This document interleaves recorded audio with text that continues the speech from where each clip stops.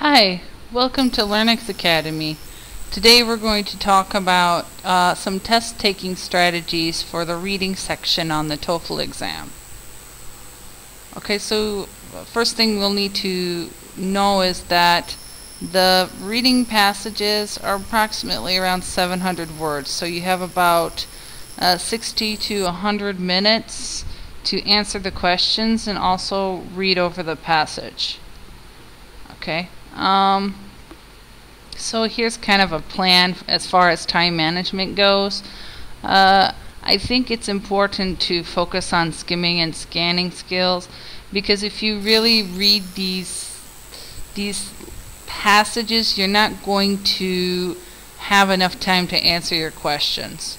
Okay, um, so focusing and practicing skimming and scanning skills to be able to manage your time more effectively.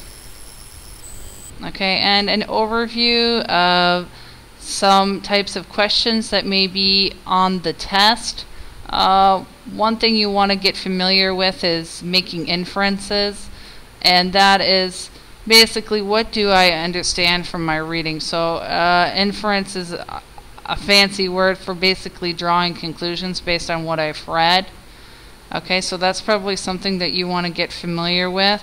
And also how to simplify sentences. Basically, we're looking at summaries and paraphrasing of what you have read. All right, let's look at some strategies that we can use to uh, better answer the questions uh, provided on the exam. Uh, here's an example passage that you may encounter on the exam. So let's read through this and then look at the question that follows it.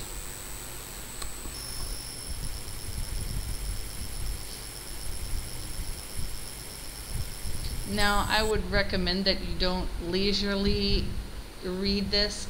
Skim and scan. I already, when I'm looking at this, I see uh, some facts and details like 1350, 1066, 1600s. These are some things that I'm going to want to quickly scan and skim over to basically understand what is it that I'm reading. Let's look at the question here. And now it's important that you read the question fully to understand what is it asking. And it's saying around the world except. So one answer would be the possible uh, phrase or word that would complete the sentence. All right, and again, we can uh, use our skimming and scanning skills to look at uh, the information relating to the question so that we can answer it correctly. Now everything is just uh, provided in the reading, so it's just a matter of going back and finding it to support your answer. Okay, so we've identified some of the key points here. Alright, so we would understand that uh, B is the correct answer for this question. Let's look at another reading passage. Again, when we're going through it, uh, just skimming through the details, North America, Pennsylvania, Georgia, Rockies, Mexico, these are things that I'm already picking out and I'm not really reading it. I'm scanning over some of the important parts of the text. I'm not actually reading through it at a leisurely pace because I really don't have enough time. i probably go ahead and go to the question first. Okay? Again, this is another exception question. Uh, everything is true except. So we're going to look at something that is not true about the passage that we've read. And we can go through and verify our information. So we've got some of the key points uh, identified here in blue. Okay? And the things that don't fit would probably be the last one here, woodland bison. We're not able to find any information on that in the text. Okay, let's look at another question here. Let's follow the same procedure. Um, skimming and scanning. Skim through it quickly. Scan for relevant information, but go ahead and work on the question that follows that. Here we're trying to make an inference. All right. So we want to identify what, based on what we've read, which is the best answer here.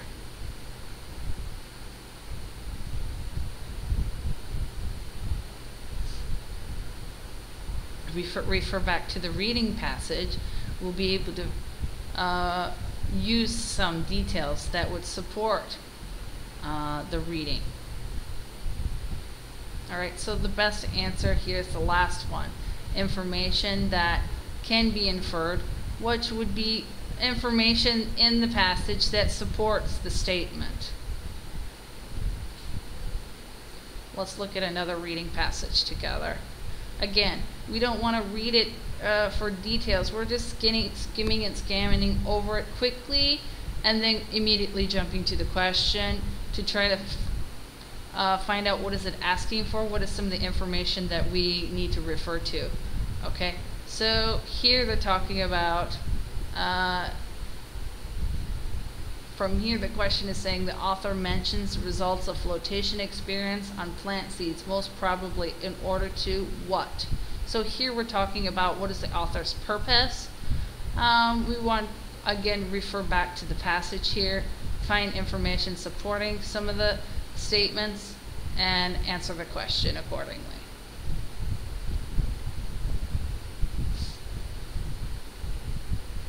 Okay, um, so here uh, we're looking at uh, introductory sentence.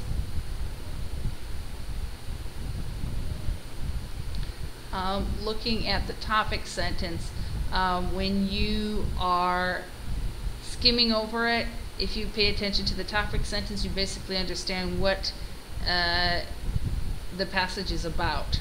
And then, again, employing your skimming and scanning skills appropriately. And everything should be followed. There's details, detailed information. Some of the specialized words you would take a note of. Okay, those words that really kind of uh, point out to you when you're skimming over it. Another part of the test will involve you filling out a table based on what you've read. Okay, so let's look at another reading passage. All right, this has got a lot of details and information here. Uh, we probably want to skim over it quickly um, and find out what exactly our task is uh, relating to the passage. As you can tell, um, the passage is pretty long. Um, so let's just quickly go over that.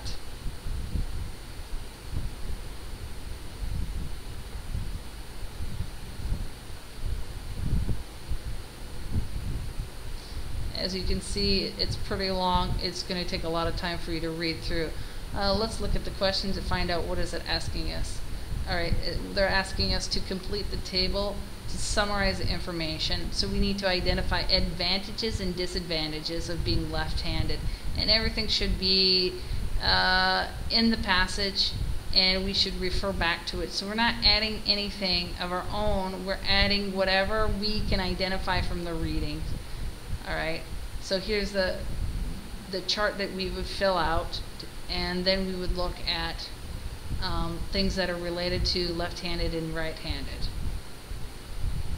Okay, so we would pick out some of the important and then make the chart filling in the information from the reading. Okay, so these are how, this is how we would go ahead and organize those uh, ideas for the TOEFL. Okay, so here um, the emphasis from the reading is not only um, being able to read information, but also to uh, employ your skimming and scanning skills, okay? And identify what are the questions asking you for. You'll have to make inferences. You'll have to understand the author's point of view. What is the purpose of the writing? And identify uh, facts and details to support your answers like we have done in the chart here. Um, if you have any questions or you'd like more information on how to pre better prepare for your TOEFL, okay, do visit uh, www.learnexacademy.com or feel free to write to us at care at learnexacademy.com. And do uh, join us on Skype, uh, learnx.tech, or LearnEx Academy. Thank you very much.